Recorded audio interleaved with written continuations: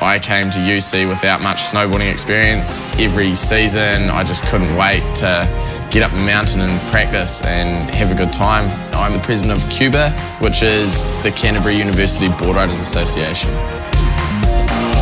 Okains Bay is a pretty little population, but the campground booms in summer. The locals have noticed the need for a boardwalk and walking track system in place. So we, through the University of Canterbury, did the geotechnical investigations. Hopefully the project gets off the ground and it'll be really neat to see it be built.